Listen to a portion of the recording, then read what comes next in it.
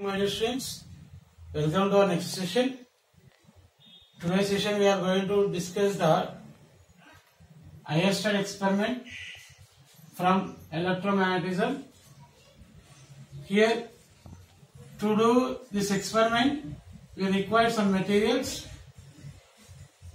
One is the thermocol sheet, is the thermocol sheet, and two small sticks which has 1 centimeter height.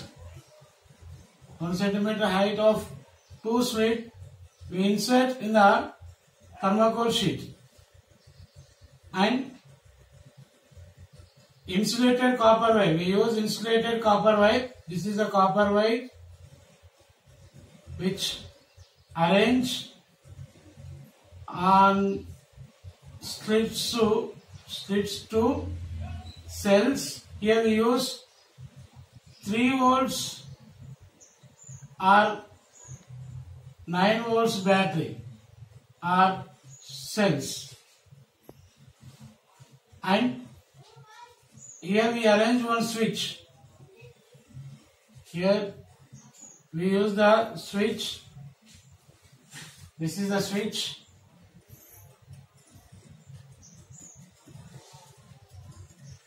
and we place one magnetic compass under the insulated copper wire.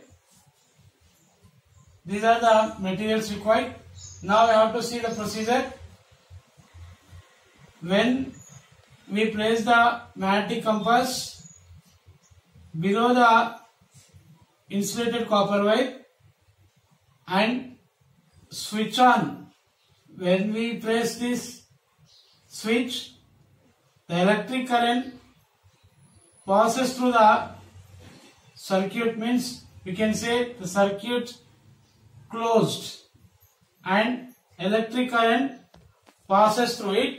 Influence of this electric current we can observe the deflection of the deflection of the magnetic compass needle this this needle can deflect.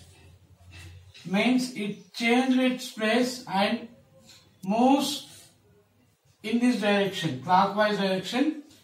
We can observe the deflection of the magnetic compass. Magnetic compass. So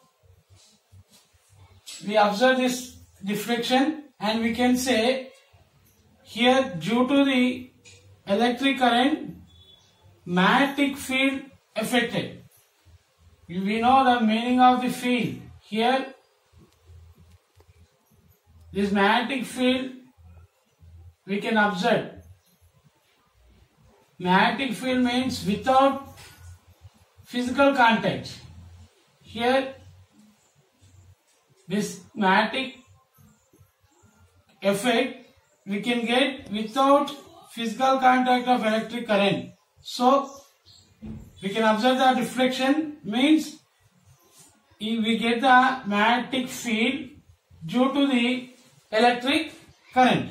So, these observations, we can see the observation when current is passed, when we switch on, current is passed through it and we observe the deflection of compass needle. This magnetic compass needle deflects.